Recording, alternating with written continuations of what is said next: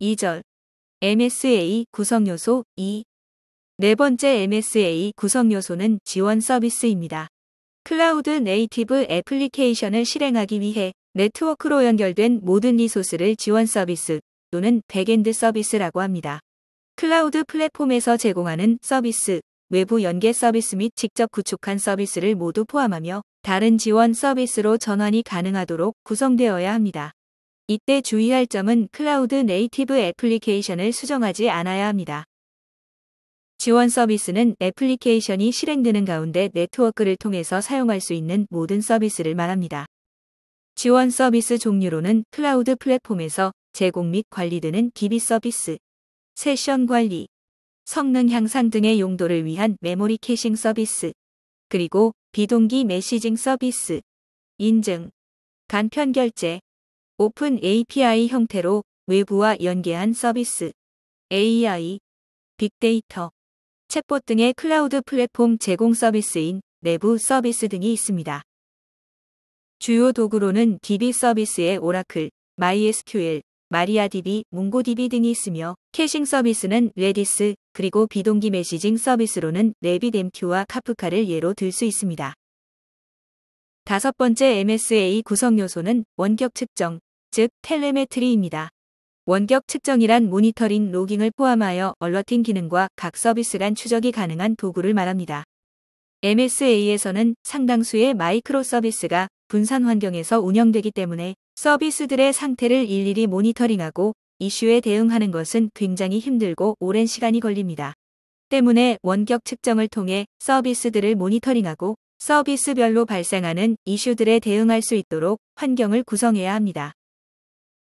마이크로 서비스는 각 서비스들이 분리되어 있기 때문에 각 서비스 간의 로그를 한데 모아야 하고 각 서비스가 어떻게 호출되는지 추적해야 하며 각 서비스에 대한 모니터링도 해야 합니다.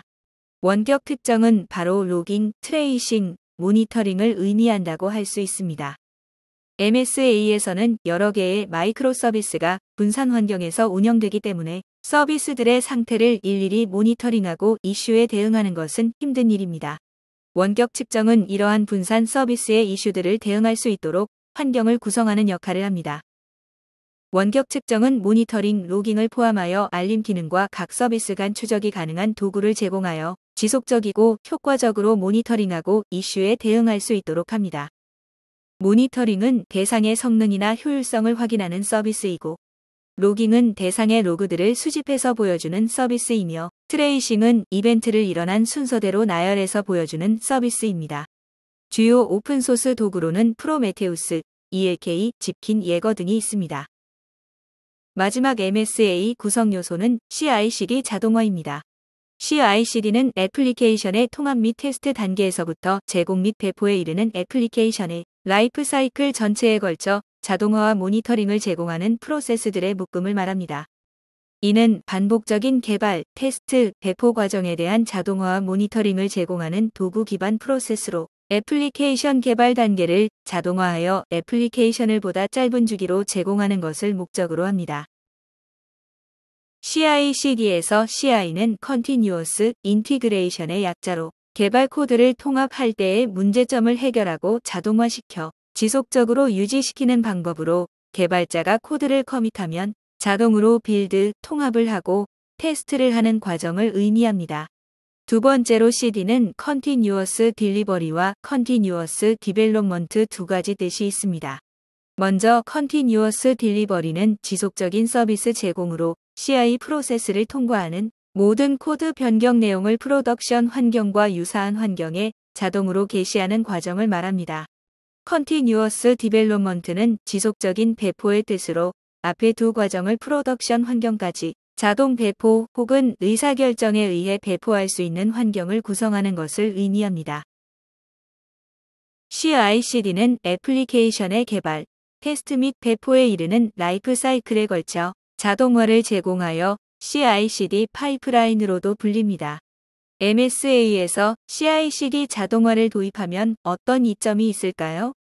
작고 분화된 조직에서 서비스를 작은 크기로 나누어 개발하기 때문에 해당 비즈니스 logic에만 집중하게 되어 개발 생산성이 향상됩니다. 또한 연관된 마이크로 서비스만 테스트를 수행하므로 개발 테스트 배포 일정이 대폭 축소되는 효과가 있습니다. CI/CD 자동화의 주요 도구는 크게 세 가지로 나누어 볼 수 있습니다. 먼저 코드 작성 유형에는 Git 그리고 Travis를 예로 들 수 있습니다. 빌드 유형 도구로는 Docker, Maven, Jenkins, Gradle이 있고 배포 유형 도구로는 Nexus, Harbor, Helm, Jenkins 등이 있습니다. 여기까지 MSA 외부 아키텍처를 구성하는 6가지 요소에 대해 살펴보았습니다. MSA 구성 시에 반드시 포함해야 할 요소들이므로 잘 기억하시기 바랍니다.